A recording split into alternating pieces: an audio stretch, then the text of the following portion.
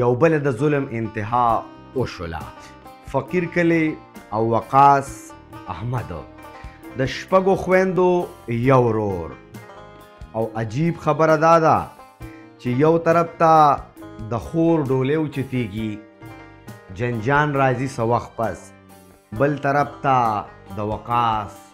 لاش یعنی وقاص په بېدردۍ سره چا ووجو ډیر د افسوس مقام دی چې یو طرف ته د یوې خور چې رور ته کاته دی او د شپږو خویندو یو رور دی او د دغه خور رور ته کاته دی ځکه چې د مشر رور مثال د پلار وي نو هغه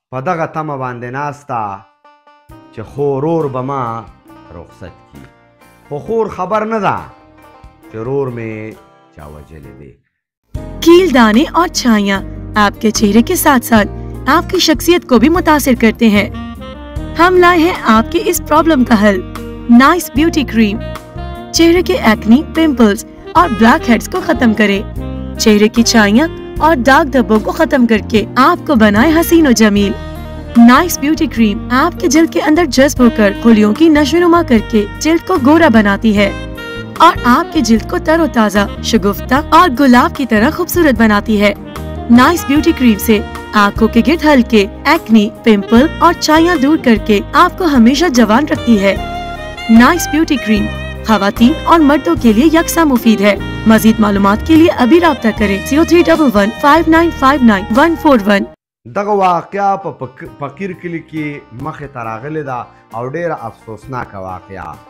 درې بجې دوی سره رابطه شوې دی لږ ته رنګ شوی دی د هغې نه پس چې کوم دی دی وتلی دی او بیا نه دی را پیدا شوی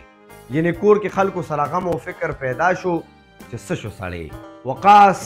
درې بجې د کوره په کال باندې وته دی او د شپې دولس بجې مړ را پیدا شو یقینا چې د دغه کور د پاره ډیره زیاته د افسوس مقام دی دغه وقاص چې د شپږو خويندو یو ورور او خواري مزدوري کول او دغه کور ساته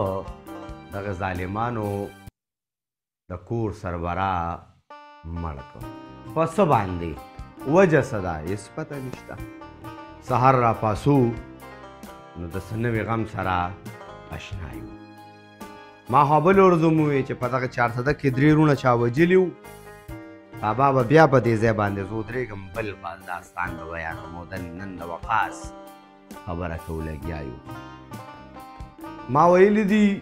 چې سزاګانې نه میلو شوې دغه جرایم به ورځ تر ورځه دغه حساب زیاتیږي پولیس برادري زمونږ کار وکړي سړی ونیسي عدالتونو ته لاړ شي او صاحبه سزا میلولی شي مستوقاس دغه خویندو لا دغه کور لا دغه خاندان لا پس تسلی ورکه کته ورته ډیر څه هم وې خو د دروغو تسلی دی دغه خور چې کومه بل کور ته واده شوله د هغې به د جنج دنی خبر شوی په هغې باندې به د ښادې دغه د درو بجو نه پس هغې باندې چې کومې ورځې تېرې شولې هغه به د خپل واده نه نی خبر شوی هغه به د خپل د لاسو د نکریزو نه نی خبر شوی ځکه چې ځوان زلمی د پلار په ځای باندې رور مشر وقاص ووژل شو ډیر د افسوس مقام دی په دغه سیمه باندې روزانه په بنیاد باندې داسې حادثات مخې ته راځي دا عقل به دې وخوځي په دغه کور باندې انتهایی ډېر لوی غم الله دې وله صبر ورکي او دغه افسوسناک واقعیا کومه مخې ته راغلې ده ډېر د افسوس مقام دی ډېر په رڼا ورځ باندې د خور د واده د جنج په ټایم باندې سړی کال کوي سړی وباسي سړی لاړ شي او هلته بیا دولس بجې غریبانان د شپې دوه پسې ګرځي او په فلاني ځای کې په پټي کې وقاص مړ پروت دی انویسټیګیشن به کېږي پته به ولګي سړی به را پیدا شي په سزا به ملو نشي او بیا به بل سبا لا بل حادثه کیږي الله دې له واحقینو له صبر ورکړي